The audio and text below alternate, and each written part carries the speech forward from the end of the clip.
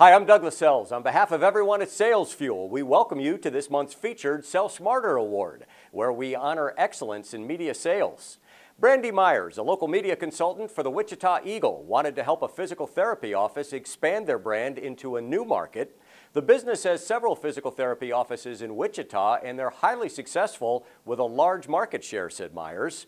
They've branched into the Kansas City market and don't have the name recognition they do in Wichita, so we're helping to create awareness and generate leads in that market. Meyers turned to AdMall's AudienceSCAN data to help determine who the best potential customers would be in this new market.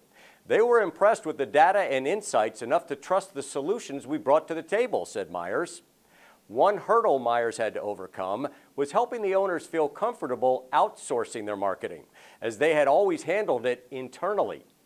The owners are involved in every aspect of the business and haven't done much external marketing since they've been limited on tracking the ROI with traditional media, said Meyers. Meyers' sales pitch consisted of SEM, search, site retargeting, and paid social media marketing on Facebook and Instagram. In the end, Meyers closed the sale for $36,000.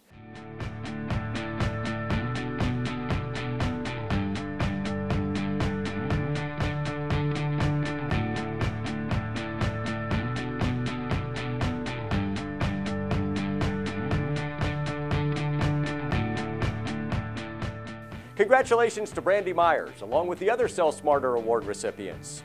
Eric Bowl of the Pueblo Chieftain, and Megan Stratton of WRCB TV. To read more about these winners, along with submitting your own story for a chance at a Sell Smarter award, please visit salesfuel.com slash SSA.